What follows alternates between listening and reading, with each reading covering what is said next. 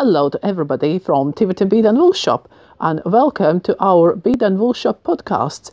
In this short podcast, we would like to uh, show you uh, what we're doing in the shop, what's coming new, uh, new products, uh, new interesting things, um, trends, uh, how to do things, how we like doing things, and uh, maybe give you some ideas what you can do. And it's all about knitting, crocheting, and beading.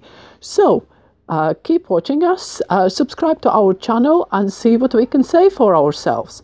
And hopefully, you will like it and stay with us for a while. Thank you.